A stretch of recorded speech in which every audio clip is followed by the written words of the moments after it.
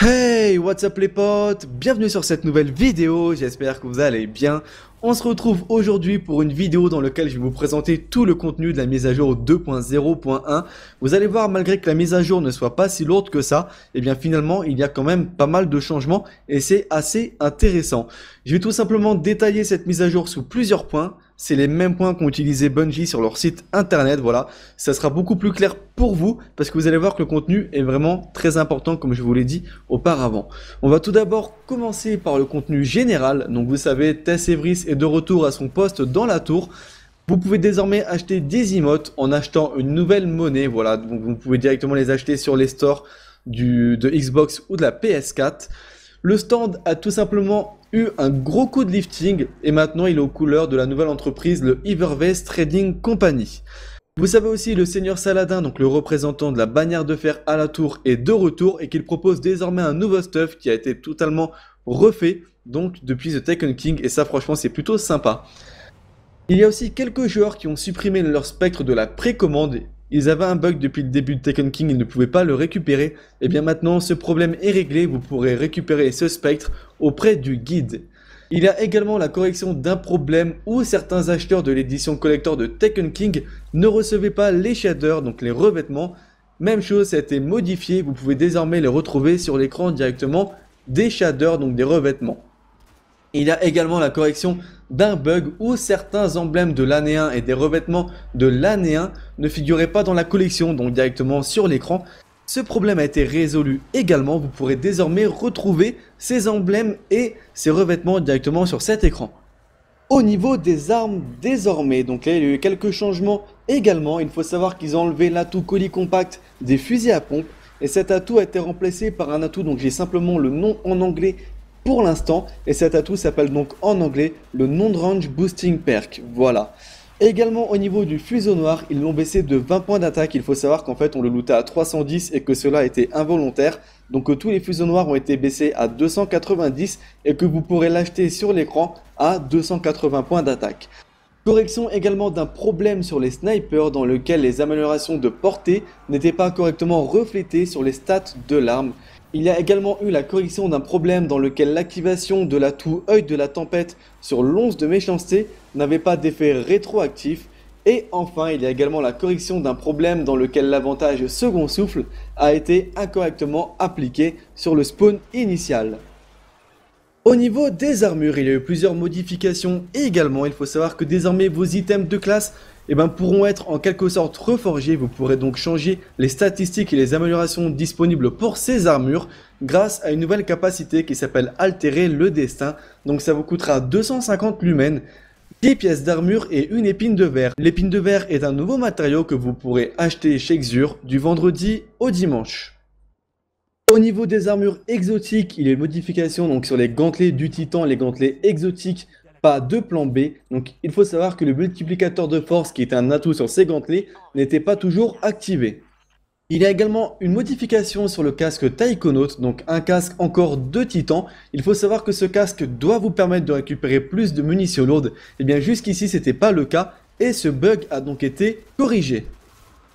Au niveau des quêtes et des contrats, il y a également eu pas mal de modifications, donc correction d'un problème dans lequel, lors des quêtes dans lesquelles on récupérait tout simplement les doctrines de l'arcaniste et du chasseur, en fait on n'obtenait pas le loot escompté, on aurait dû avoir de meilleures récompenses à la fin de ces quêtes-là, et ce n'était pas le cas, donc ceci a été modifié.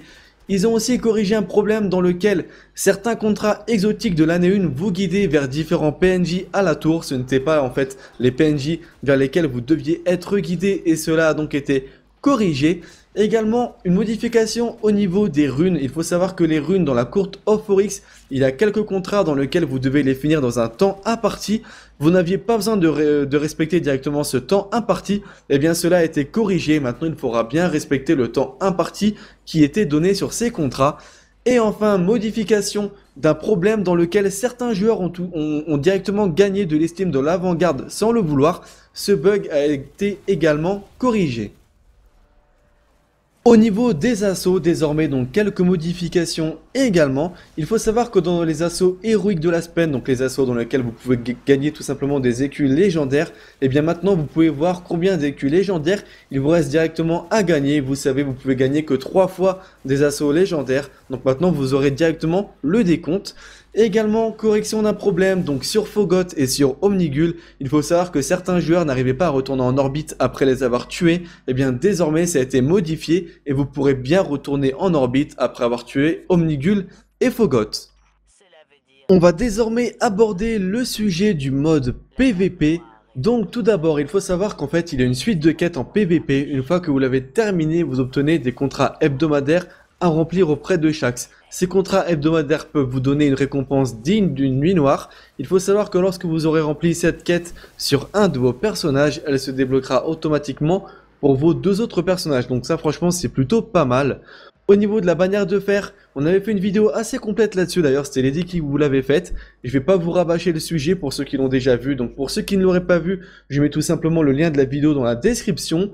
Au niveau d'Osiris, je vais vous faire une vidéo assez complète demain, donc vraiment sur le, les changements au niveau d'Osiris. Donc c'est pareil, je vais pas aborder le sujet à travers cette vidéo. Par contre, au niveau des playlists et au niveau des maps, il y a quelques modifications dont on va parler ensemble. Tout d'abord, le repère des voleurs, donc la map repère des voleurs a été retirée de la playlist du mode faille.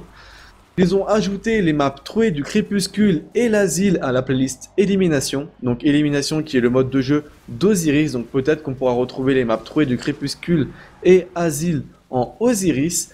La map repère des voleurs a été retirée de la playlist du mode de jeu double. Et ils ont également supprimé euh, la map anomalie et le fort de Delphes du mode défense, des modes infernaux et du mode escarmouche. Voilà.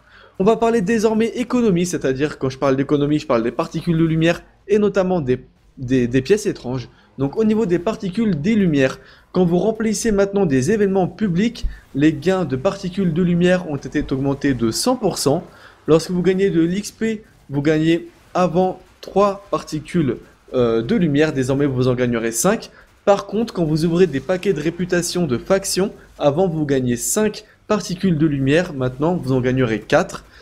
Également, lorsque vous démantelez des objets rares et légendaires, ils ont réduit le loot de particules de lumière d'environ 30%.